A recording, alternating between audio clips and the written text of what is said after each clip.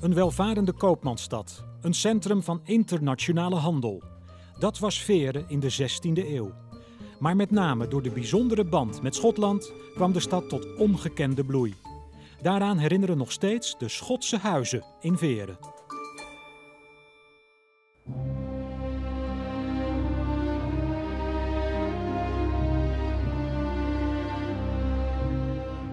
Je ziet hier een, eh, een diepe haven. Deze kant zie je grote uh, koopliedenhuizen, mooie pakhuizen. Dus het was echt uh, ja, booming. Hè? het welvarendste gebied van, van de Nederlanden in die tijd. Niet alleen in de haven van Veren voeren handelsschepen af en aan.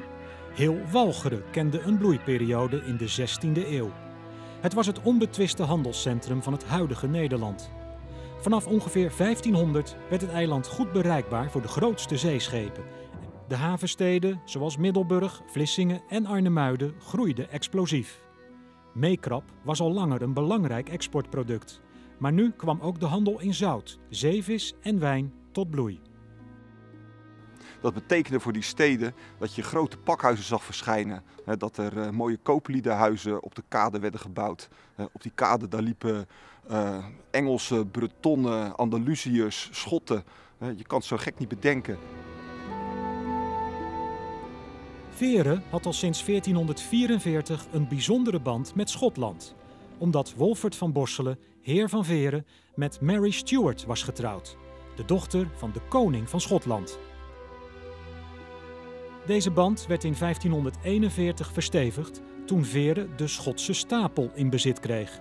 Dit betekende dat Schotse producten in Nederland alleen in Veren verhandeld mochten worden. Het belangrijkste dat was wol, maar daarnaast bijvoorbeeld ook uh, huiden, zalm, uh, steenkool, uh, nou, tot gebreide kousen aan toe. Um, nou, ja, die Schotse handel is eigenlijk gewoon de, de kurk geweest waar de Veerse economie tot het eind van de 18e eeuw opdreef.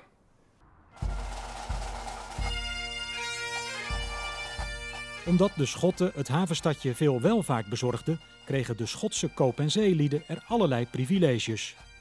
Zo konden zij bijvoorbeeld in de speciaal voor hen ingerichte herberg De Zwaan eten en logeren zonder accijns op bier en wijn te betalen. En hier werd door de Schotten eigen recht gesproken. Er ontstond eigenlijk een kleine Schotse kolonie in de stad. En zij betrokken of bouwden zelf al snel veel andere huizen in de buurt van de haven. Zoals dit pand hier aan de kaai, met de illustere naam Den Wolzak.